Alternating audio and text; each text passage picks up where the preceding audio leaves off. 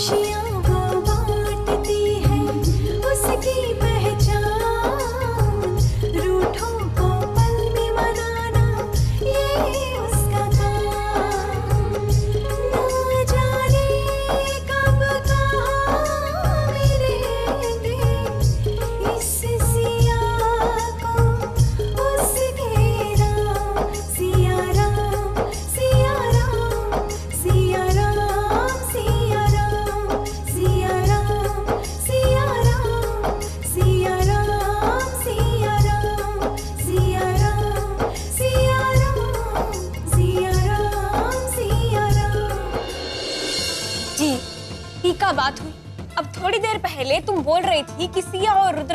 ना होने दोगी।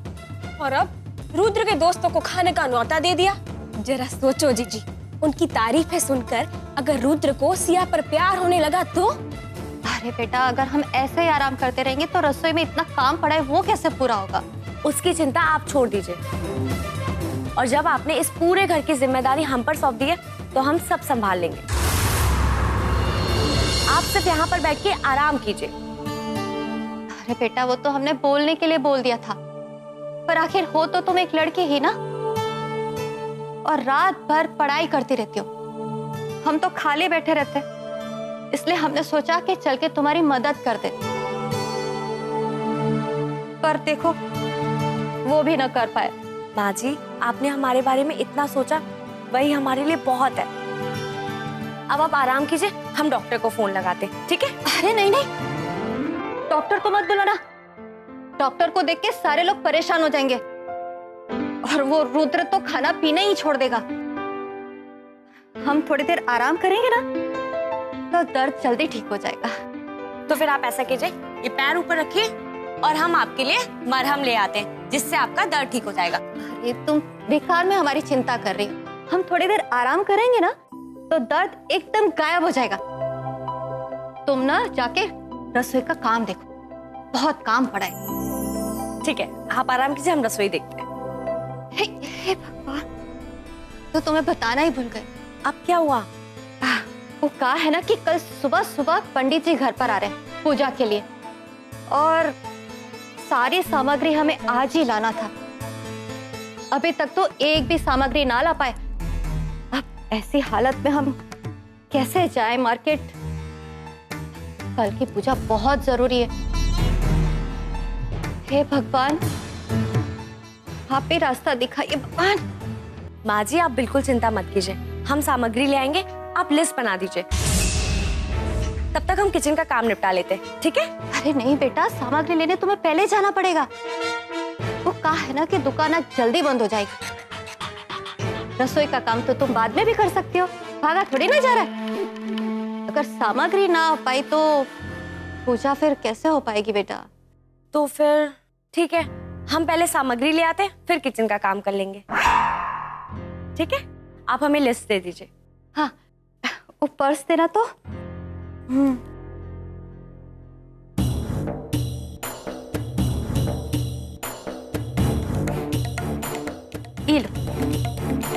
ये है सामग्री की लिस्ट हाँ ये लो। पैसे। तुरंत जाना बेटा, वरना देर हो जाएगी। जी माँ जी, हम अभी जाते हैं। मेरा पैर।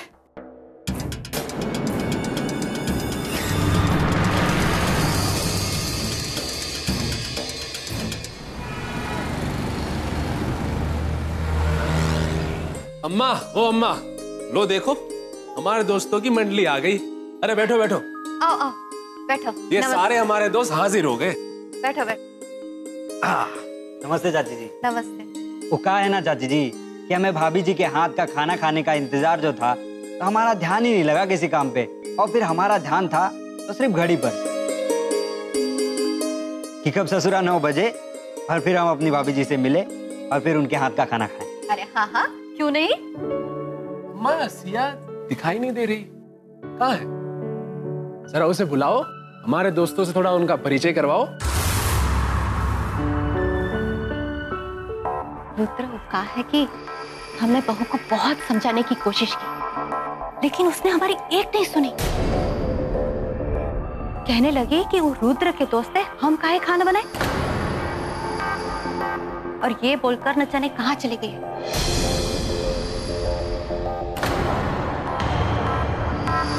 तो चिंता मत कर हम है ना?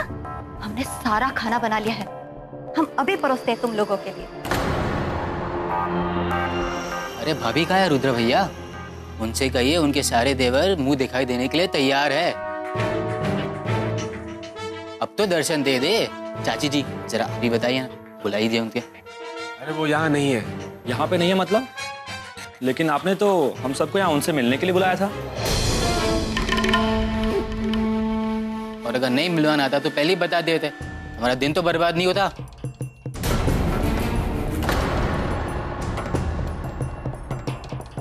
अरे बेटा बहू नहीं है तो क्या हुआ? हम तो है ना? आज हमारे हाथ का खाना खा लो। बहू के हाथ का फिर कभी खा लेना। अरे चाची जी खाना तो हमारे घर में भी। हम वहाँ भी खा सकते हैं। लेकिन यहाँ ये देखने आए हैं कि संस्कारी लड़की से ब्याह करके हमारे भाई ने कौन सा बड़ा तीर मार दिया है? वाह वाह रुद्र भाई, वाह। हमें घर पर बुला करके और अपनी पत्नी को ही छिपा दिए। शायद इनकी नज़रों में हम लोग आवारा और बदतमीज है।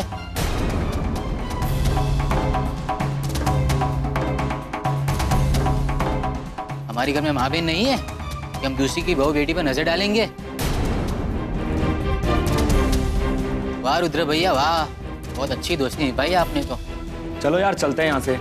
लगता हमें बेइज्जत करने के लिए बुलाया था। चलो। ऐसे अरे बेटा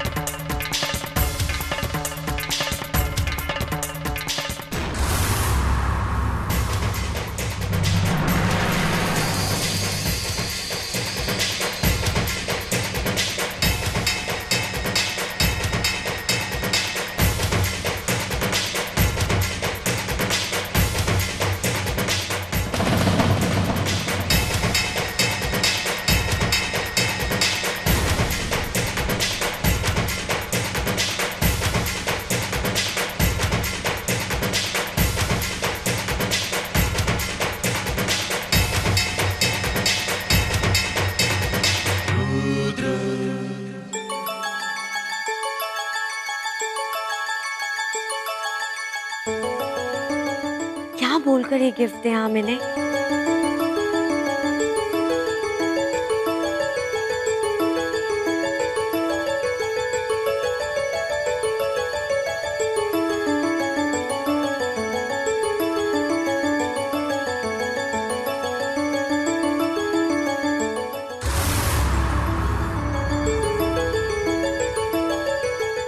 हम आपके लिए छोटा सा गिफ्ट लाए हैं। आपने हमारे लिए जो कुछ भी किया, उसके लिए।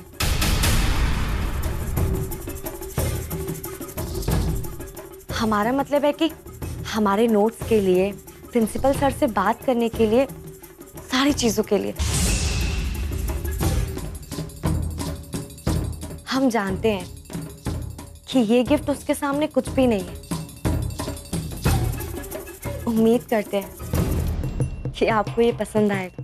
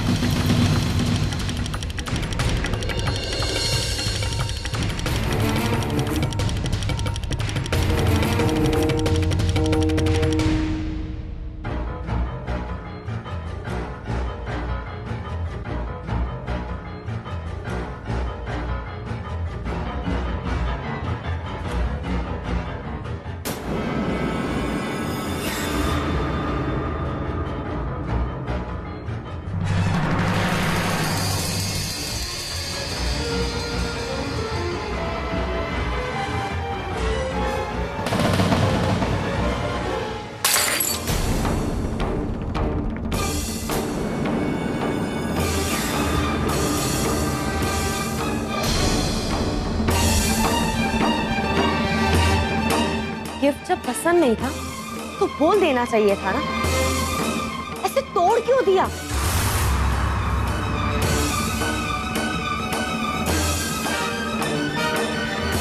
हमारी गलती है ये।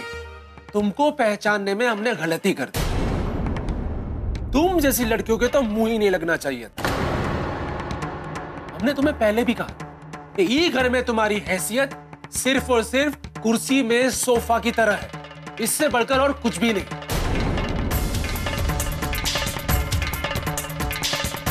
इसलिए याद रखना, आज के बाद हमारे रास्ते के बीच में मत आना और ना ही हमसे बात करना।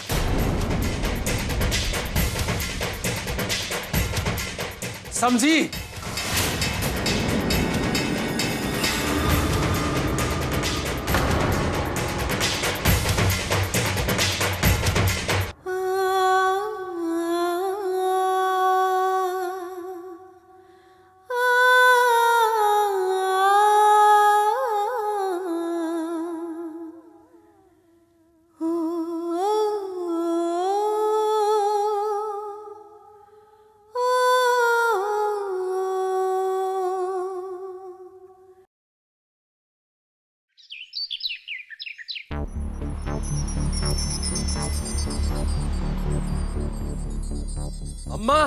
अरे ओ अम्मा अम्मा कहाँ हो तुम?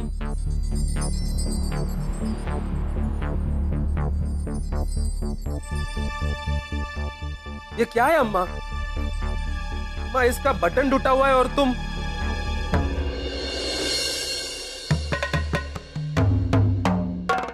लाइए हम लगा देते हैं। हमने अमरी अम्मा को बुलाया है तुमको नहीं। मैं तुम्हारी मदद की कोई ज़रूरत नहीं।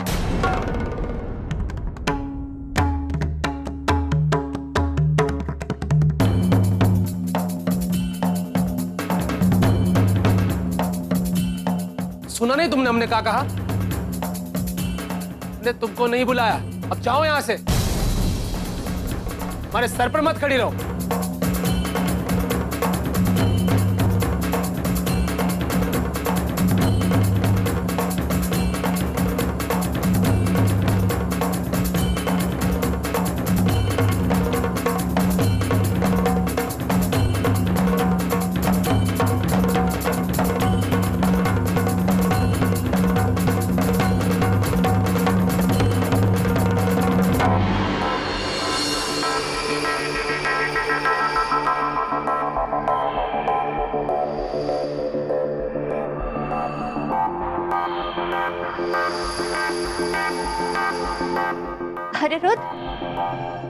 जल्दी जग गए चलो अच्छा है, बैठो, नाश्ता करो।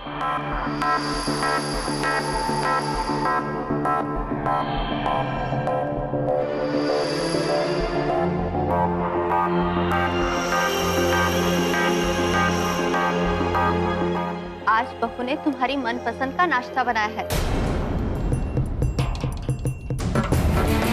आलू का पराठा।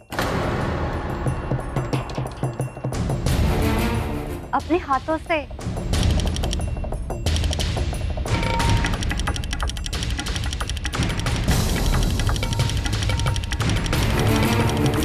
अरे क्या हुआ?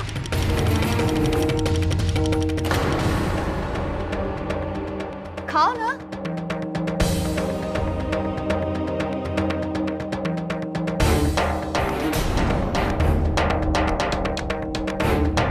अचानक क्या हो गया इसे?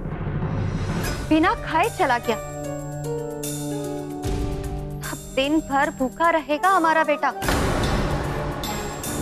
शादी के बाद से पता नहीं इसे क्या हो गया। अगर ऐसे ही चलता रहा तो कमज़ोर हो जाएगा हमारा बेटा। लगता है हमारी योजना से बहुत बड़ा धमाका होने वाला है। काय देश बहू तुम्हारे पापा का चाय नाश्ता उनके कमरे में भिजवा दो।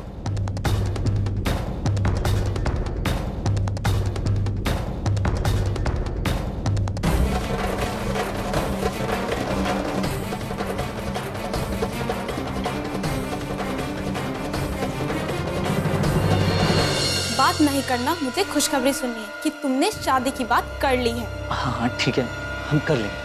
लेकिन प्लीज़ अभी निकल दो। अगर रात तक फ़ोन नहीं आया कल सुबह मैं यहाँ आ रही हूँ। ओके डोंट वरी हम तुम्हें कॉल कर देंगे ठीक है?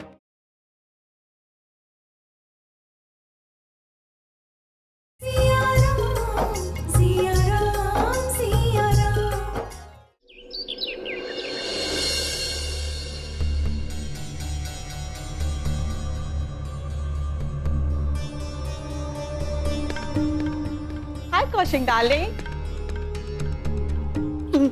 यहाँ क्या कर रही हूँ? अरे कौशिक डाइन तुम अपने सोना का फ़ोन ही नहीं उठा रहे थे। तो मैं क्या करती? तुमसे मिलने तुम्हें देखने में खुद ही चली आई। सो मोरे नैनन में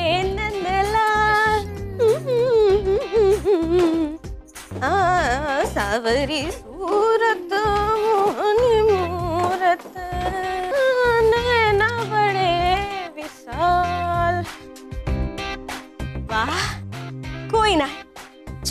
सुबह सुबह हम गाने देखते हैं। अरे वाह शांति से बैठ के गाने देखने का मज़ा है, कुछ और है जो है सो।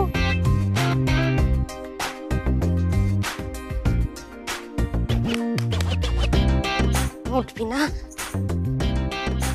हो गया चालू। यहाँ हो यार,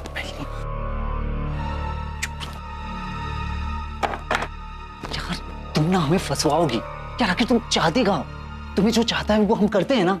तो फिर यहाँ इस तरह धमकने की क्या ज़रूरत है कौशु डार्लिंग इतने रूखे तरीके से क्यों बात कर रहे हो? पहले तो तुम बड़े प्यार से बात करते थे लेकिन अचानक से तुम्हें क्या हो गया? कहीं ऐसा तो नहीं कि आजकल तुम्हारा सारा ध्यान तुम्हारी भाभी की ओर चला गया है? क्योंकि जब से तुम्हारे भाई की शादी हुई है तभी से तुम इतना चेंज हुए हो। कहाँ फालतू की बात कर रही हो यार तुम? सॉरी हाँ बट तुम्हारे जैसे लड़के का कोई भरोसा नहीं। अरे भरोसा नहीं था तो इतने दिन हमारे साथ कैसे रही तुम हाँ जब तक साथ थे तो भरोसा था लेकिन जब से तुमने मुझसे कन्नी काटना शुरू किया है तब से भरोसा उठने लगा है।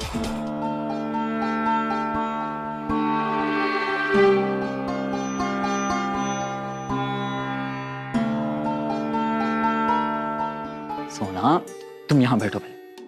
देखो कहा है ना ऐसी कोई बात नहीं है। तुम आज भी हमारे लिए वैसे ही हो जैसे कल थी। अच्छा अब चलो बताओ हमें, यहाँ क्या करने आई हो? क्या करने आई हो मतलब? क्या मैं अपने होने वाले ससुराल में भी नहीं आ सकती? और शादी के बाद मुझे यहीं पे आकर तो रहना है। तुम्हारे साथ तुमने ही तो मुझसे प्रॉमिस किया था ना? कोशु, अब मैं तुम्हारे बिना एक पल भी नहीं जी सकती। देखो कोशु, मेरे घर वाले मेरी शादी कहीं और तय कर चुके हैं। प्लीज़ अपने घर वालों से जल्दी से जल्दी हमारी शादी के बारे में बात करो। देखो कोशु, अगर तुम मुझे नहीं मिले तो मैं अपनी जान दे दूँगी। लेकिन किसी और से शादी कभी नहीं करूँगी। क्या फालतू बात कर रही हो यार तुम? फुलवा हाँ जीजा जी ये कौशिक कहाँ है? अपने कमरे में होगा बुलाओ जरा उसे। अभी बुलाते हैं। देखो सोना हमारे घर की परिस्थिति अभी ठीक नहीं है। जैसे ही ठीक हो जाएगा हम तुम्हारे और अपनी शादी के बारे में बात कर लेंगे। भरोसा करती हो ना हम पे? अपने आप से भी ज़्यादा। प्यार करती हो ना हमसे? अपनी जान से भी ज़्यादा। तो बस हमें कुछ दिन की मोहलत और दे दो। हम तुम्हारी और अपनी शादी के बारे में बात कर लेंगे। पक्का कह रहे मुझे पता है तुम अपने घर वालों से हमारी शादी की बात नहीं करोगे। अगर करनी होती ना तो कब की कर लेते? अरे रुको फुलवा। खुद ही देखते हैं उसको। अच्छा।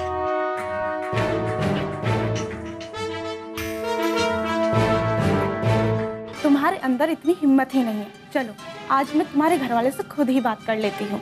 अरे यार प्यार किया तो डरना क्या? अरे अरे सोना यार तुम काहे नहीं समझ रही हो? हम कह रहे हैं ना जैसे ही सही वक्त मिलेगा हम घर में बात कर लेंगे तुम्हारे और अपनी शादी के लिए। यार बात को समझो यार प्लीज़ मुझे समझाने की कोई ज़रूरत नहीं। ये बात तुम अपने घर वालों को जाके समझाओ। एक बात अच्छी तरीके से सुन लो। अगर आज के आज तुमने ये बात करके रात तक मुझे नहीं बताई तो कल सुबह आकर मैं तुम्हारे घर वालों से अपनी शादी की बात करूँ।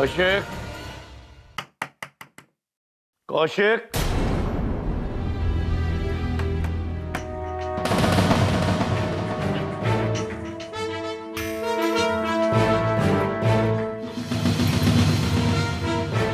पापा। कब से चिल्ला रहा हूँ कौशिक? तुम्हें सुनाई नहीं दे रहा क्या? पापा बस वो हम आ ही रहे थे कि आपने आवाज़ दे दी। जल्दी करो कौशिक। पार्टी कार्यालय में मीटिंग के लिए पहुँचना है। और हाँ अगर हम लोग ही लेट पहुँचेंगे तो बाकी के कार्यकर्ता भी लापरवाह हो जाएँगे जल्दी करो। पापा आप टेंशन ना ले। बस हम आ ही रहे। हैं दो मिनट। ऐसा कुछ नहीं होगा। जल्दी आओ।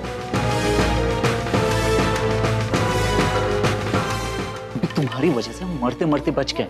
क्या अब तो निकलो। हम फ़ोन पर बात कर लेंगे ना तुमसे। कह रहे हैं ना।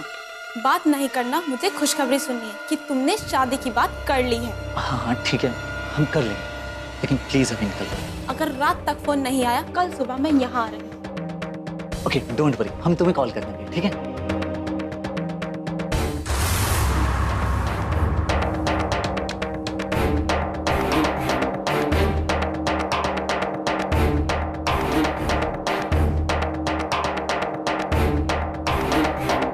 उफ, ये लड़की तो गले की हड्डी बन गई है। निकल सकता नहीं इसे। और उगलने की कोशिश की, कम वक्त बवाल कर डालेगी इसका कुछ ना कुछ लंबा इंतज़ाम करना होगा बेटा कौशिक वरना तेरी ज़िंदगी को ये लड़की नर्क बना देगी। शादी करे। वो भी कौशिक से। हाय दी कैसी है आप? हाय सरस। ठीक है हम। तुम कैसी हो? इसका फ़ोन है। कहाँ हो तुम? ये आवाज़ किसकी थी?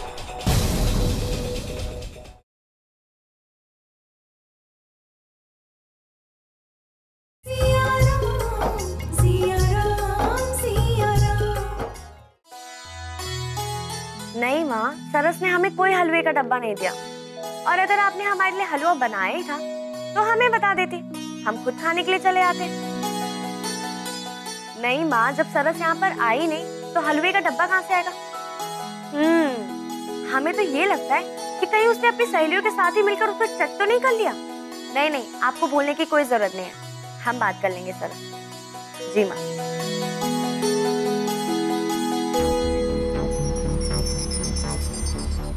सरस ने माँ से छूट क्यों कहा? जब वो हमारे घर आई नहीं तो उसने ऐसा क्यों कहा? ज़रूर वो कुछ छुपा रही होगी।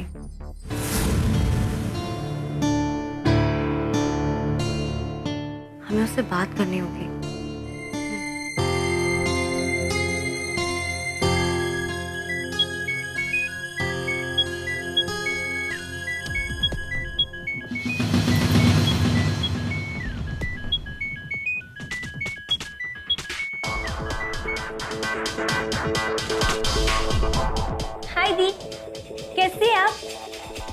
सरस ठीक है हम। तुम कैसी हो? इसका फ़ोन है। कहाँ हो तुम? ये आवाज़ किसकी थी?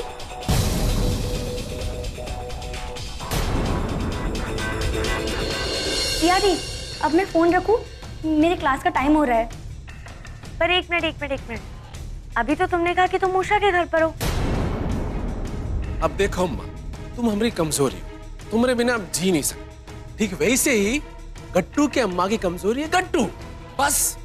तो दिया दाहिने हाथ से दो कंटाप कनपट्टी पर और बाहिने हाथ में हार हाजिर।